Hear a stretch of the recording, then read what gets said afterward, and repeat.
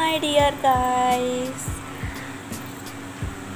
Welcome back to my channel Joanna's Lucky Joanna's Lucky Charm Stories. So today I will also reading from Daddu Tell Me a Story if in and then if it is the story in Daddu Tell Me a Story finished then we will read from Marigold book 5. Alright, so let's start. The chapter 3 The Birth of the Grape. Many years ago, the kingdom of Firat was ruled by a powerful sultan who had one son, Prince Badam. The prince was handsome, brave, and had a special talent. My son is the best archer in the whole world, the Sultan boasted, and everybody agreed. One day, the Sultan decided to go to a big, beautiful fruit garden to relax with friends and family. The party reached the garden, and the Sultan decided to rest. Suddenly, a huge eagle landed near the Sultan's feet. The Sultan pulled out his sword, and his soldier came running.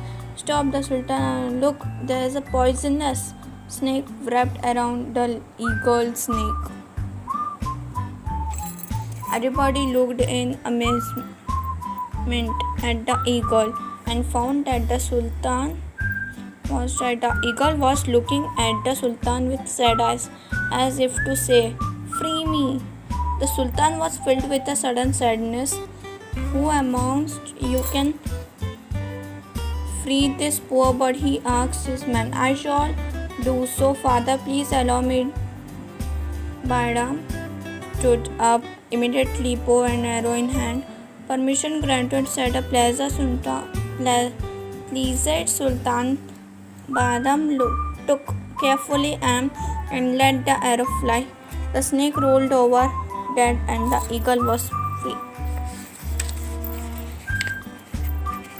The eagle spread his wings wide as if to express his gratitude and then made a screeching noise as if to say, Thank you, I shall never forget you. Then the bird circled over the heads of the prince and sultan and flew away.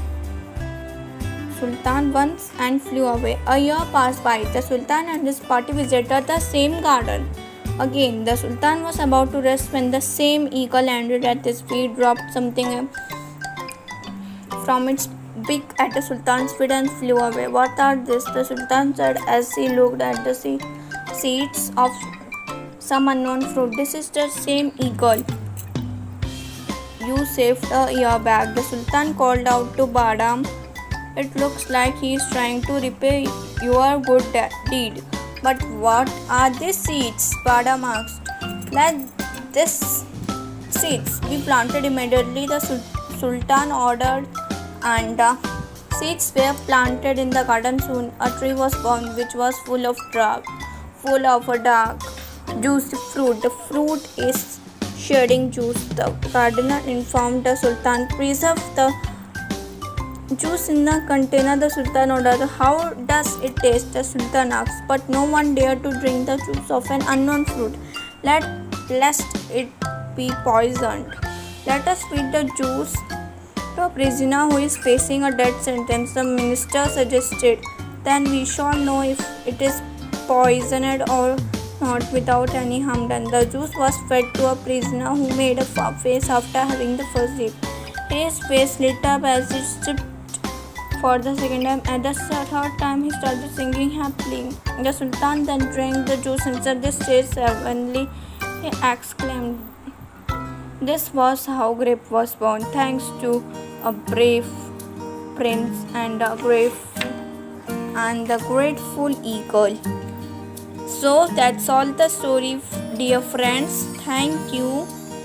Bye bye, friend. Dear Thanks dear for friend. watching, friends. Bye, friends.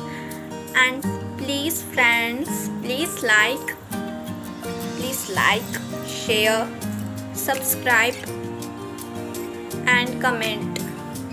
Stay home and stay safe.